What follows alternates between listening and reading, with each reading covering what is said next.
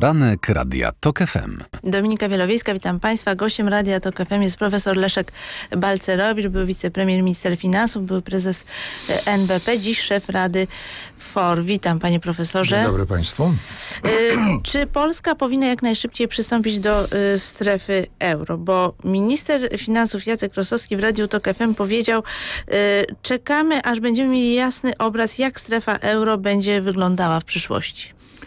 Trzeba powiedzieć, co to znaczy jak najszybciej i co znaczy przystąpić. Można przystąpić i być Grecją i można przystąpić i być Niemcami lub Finlandią.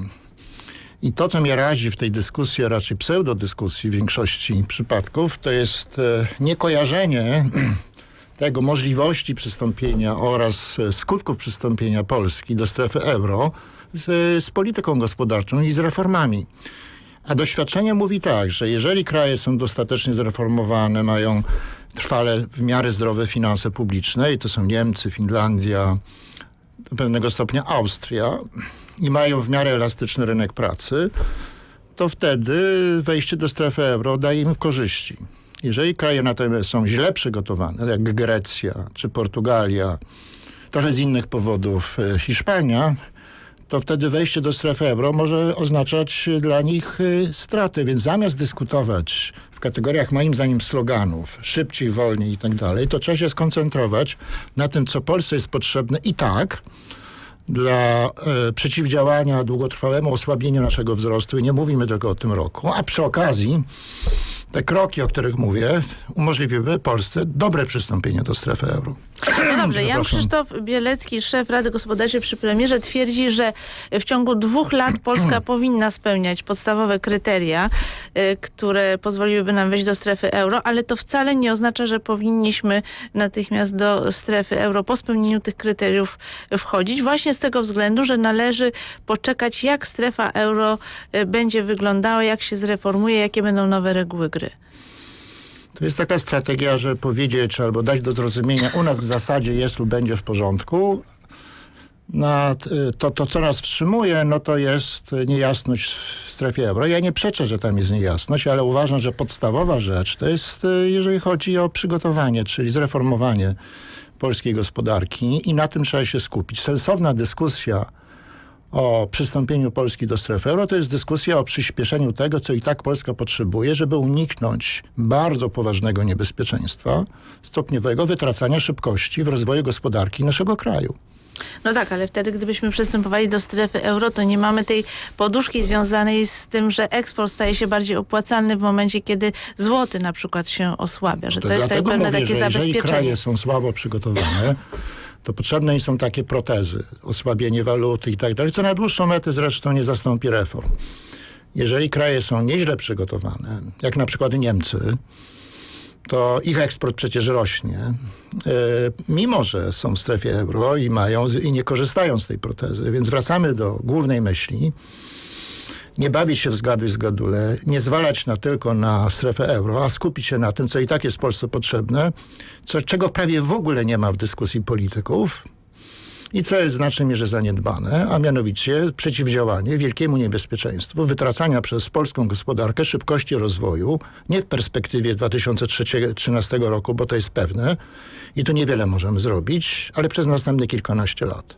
Jakie jest dziś największe zaniechanie rządu, pana zdaniem, w tej mierze? No chcę być obiektywny, bo oceniać rząd trzeba zawsze na tle tego, co proponuje opozycja i żeby nie wytwarzać wrażenia, że opozycja ma lepsze pomysły. Niestety nie ma, ma gorsze pomysły. To jest pierwsza rzecz. Ale druga, no, moim zdaniem brak w ogóle takiej diagnozy długofalowej. Jaki jest scenariusz ostrzegawczy? To znaczy, co będzie z rozwojem polskiej gospodarki, czyli z tempem wzrostu poziomu życia w Polsce i z siłą polskiego państwa, jeżeli nie będzie się przeciwdziałać trzem negatywnym tendencjom. Po, po pierwsze spadek zatrudnienia wskutek starzenia się ludzi, ludności. Po drugie niska kwota inwestycji prywatnych, których nie da się przecież dobrze zastąpić inwestycjami publicznymi. I po trzecie wreszcie, i to jest bardzo niepokojące, od paru lat spada tempo poprawy, jeżeli chodzi o wzrost efektywności, z jaką wykorzystujemy zasoby pracy, kapitału, a to na dłuższą metę jest największa siła i rząd ani nie odniósł się do tych trzech niepokojących tendencji, ani też nie zaproponował na tym tle całościowego programu konkretnych zmian, żeby Polska nie ugrzęzła na poziomie 50, trochę więcej niż 50% poziomu życia, jaki w tej chwili mają Niemcy. No, mm, rząd zaproponował program Inwestycje Polskie po to, żeby podtrzymać e, poziom inwestycji. No, jeżeli wierzymy, że nawet da mała dawka upolitycznionych często inwestycji jest zbawieniem, to wierzymy właściwie w to, co się y, nigdzie nie sprawdziło. Tak nawiasem mówiąc, chyba tutaj w TOK FM była informacja o tym, że jest skandal, jeżeli chodzi o lotnisko w Berlinie. Jest skandal, tam jest. Dlaczego? Inwestycja publiczna pod publiczkę. Również Niemcy podlegają pewnym takim prawidłowościom, więc nie dziwmy się, że jeżeli mamy y, więcej inwestycji publicznej, to ostatecznymi decydentami są politycy i urzędnicy i oni nie są z natury lepsi czy gorsi niż zwykli ludzie, tylko oni podlegają pewnym bodźcom. No, dobrze być popularnym, przeciąć wstęgę, e, udawać dobroczyńcę, darując swojej społeczności jakiś na przykład wielki dworzec, który nie ma sensu, bo jest za duży, albo coś się sprawdziło i bardzo byłoby dobrze, żeby jakieś poważne medium tak przyjrzało się tym różnym standardowym inwestycjom publicznym w Polsce.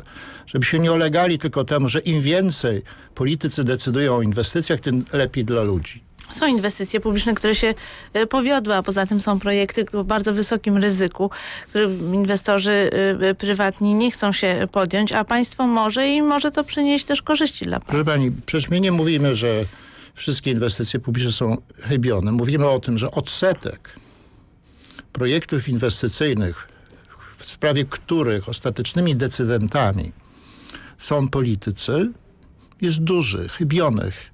Gdyby inaczej było, to by socjalizm był bardzo dobrym ustrojem, bo tam o wszystkich inwestycjach decydowali politycy. Ale nie mówimy o socjalizmie, panie Nie, mówimy o mniejszej dawce. Nie, proszę pani, właśnie trzeba kojarzyć. interwencji. Jeżeli, no to też jest kawałek, bo istotą socjalizmu było upolitycznienie decyzji w sprawach gospodarczych. I to był 100%, ale jeżeli jest 20%, to już będzie ok. Dlaczego te prawidłowości, które dotyczyły upolitycznienia decyzji, miały nagle zaniknąć, jeżeli to jest 20%. Na jakiej zasadzie? To a propos a, trochę... A, a, poza tym mamy mnóstwo dowodów, że tak nie jest. Mnóstwo chybionych inwestycji w krajach, które publiczne, w krajach, które chyba jak na razie mają lepszą administrację niż my. Panie profesorze, a propos, rząd zdecydował o pożyczce dla y, lotu, ponieważ lot znalazł się w bardzo ciężkiej y, sytuacji finansowej. Być może ta pożyczka zamieni się w pomoc publiczną, gdyby Komisja Europejska wyraziła na to zgodę. Jak y, pan to ocenia? Ja chciałbym, żeby odbyła się dyskusja publiczna nad tym, co się działo z lotem w ciągu ostatnich, nie wiem, kilkunastu lat. Bo można raz, powiedzmy, dać taką pożyczkę. I sam pamiętam, że tak było. Ale jeżeli to się powtarza, no to przecież trzeba rozliczyć tych, którzy za to odpowiadają. Nie w sensie prawnokarnym, tylko w sensie poinformowania opinii publicznej, dlaczego dochodzi do kolejnego wstrzykiwania, przecież nie rządowych pieniędzy. No ale sam pan przyznaje, że kiedyś pan też musiał No właśnie mówię, że, że raz wypadek nadzwyczajny, ale jeżeli wypadki nadzwyczajne stają się zwyczajne, to już nie jest w porządku. Ale co, pozwolić na upadek lotu w takim razie? No trzeba popatrzeć, jakie są alternatywne rozwiązania i nie od razu straszyć upadkiem, bo zresztą to, co się nazywa upadkiem y, w ramach współczesnego prawa upadłości jest restrukturyzacją.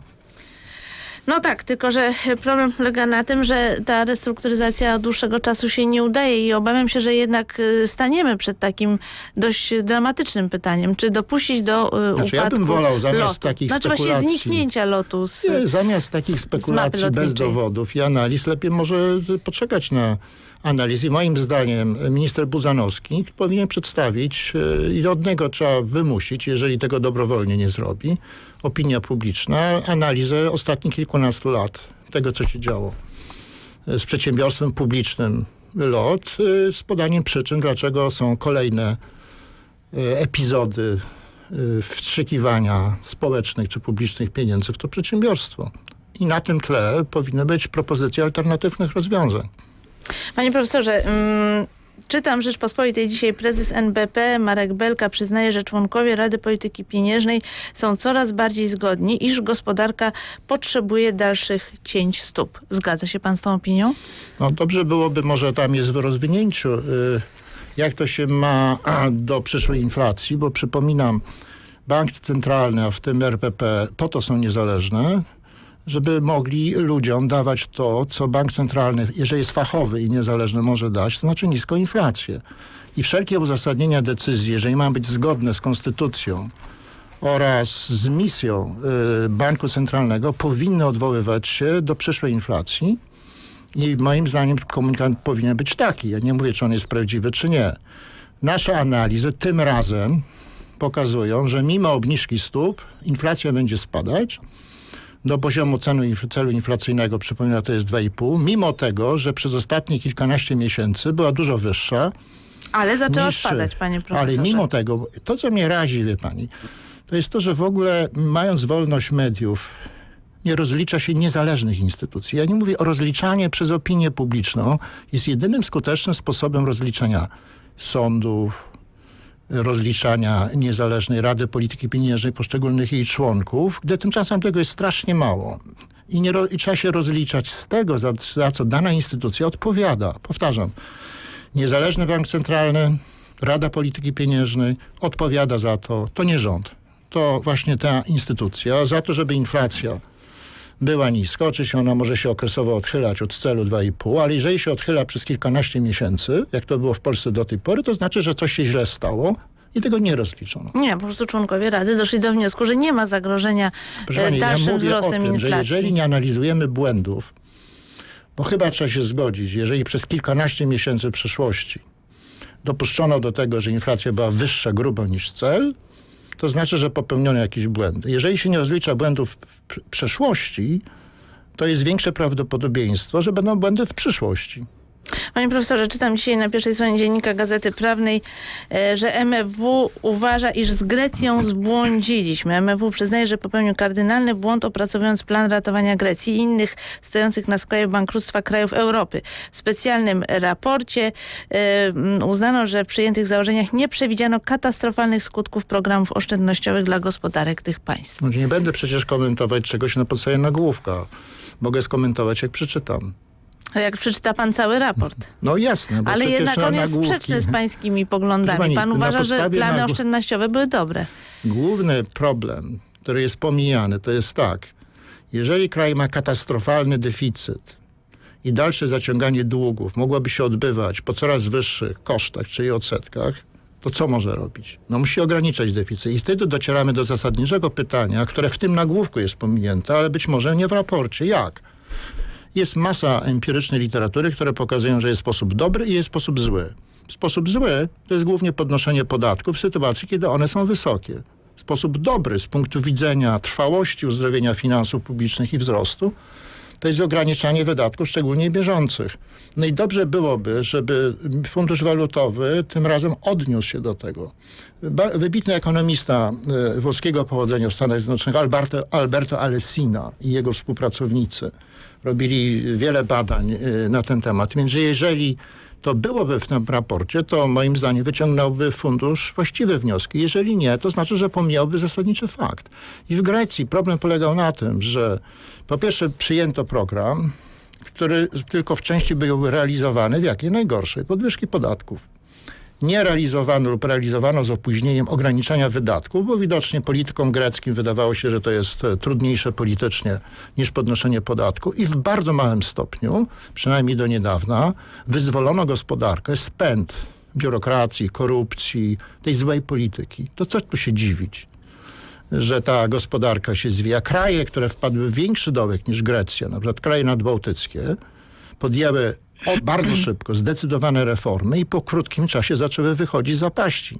A Grecja przy takim faktycznie wprowadzonym w życie programie cały czas się zwija. Choć ostatnio są pewne optymistyczne.